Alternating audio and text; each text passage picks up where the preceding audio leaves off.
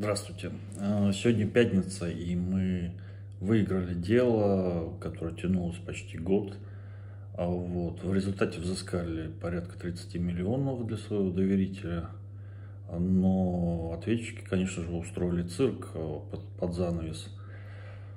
Процесс, они заявили отвод судьи, они заявили о необходимости проведения дополнительной экспертизы они принесли заключение какого-то специалиста о том, что а, судебная экспертиза, проведенная по делам дважды, не может считаться доказательством, поскольку там массовые нарушения, а, но поскольку они отвод заявляли устно, а, ничем его не обосновав, и ходатайство о проведении экспертизы, в общем-то, выглядело точно так же, естественно, им в этом было отказано, ну, в общем, дальше процесс пошел своим чередом, но в дополнение ко всему этому они а, заявили, что не уважают судью и а, уходят из зала, демонстративно покинув зал.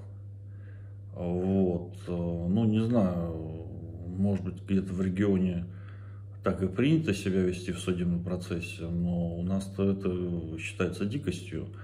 А, думаю, что они подадут какую-нибудь грозную апелляцию и потом еще будут пытаться это все отменить э, в суде апелляционной инстанции, после которого решение суда вступает в силу. Но на данный момент э, мы победили, мы а, взыскали, в общем-то, то, что планировали, даже немного больше.